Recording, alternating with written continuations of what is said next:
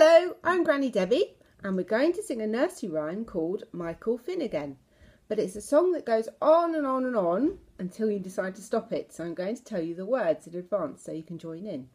The words are There was an old man called Michael Finnegan. He grew whiskers on his chin again. The wind came out and blew them in again. Poor old Michael Finnegan, begin again.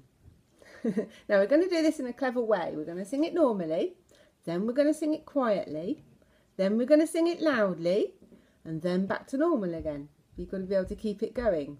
Are you ready? Here we go.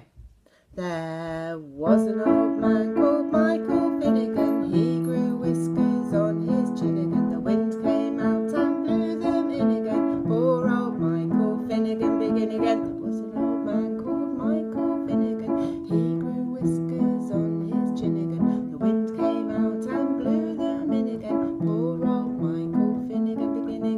There was an old man called Michael Finnegan. He grew whiskers on his chin again. The wind came out and blew them in again. Poor old Michael Finnegan, begin again. There was an old man called Michael Finnegan. He grew whiskers on his chin again. The wind came out and blew them in again. Poor old Michael Finnegan, begin again.